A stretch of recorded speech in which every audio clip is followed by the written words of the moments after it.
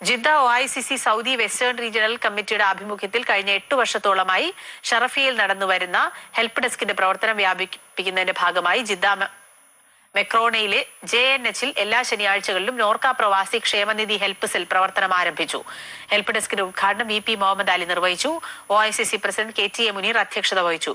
Norka I D card വിതരണം V P Ali Muhammad അലിക്ക് നൽകിക്കൊണ്ട് ഇക്ബാൽ പൊക്കുന്ന് നിർവഹിച്ചു. അഷ്റഫ് അഷ്റഫ് അലി തൊക്കുംകാട് മുജീബ് പുത്തേടത്ത് എന്നിവർ സംസാരിച്ചു.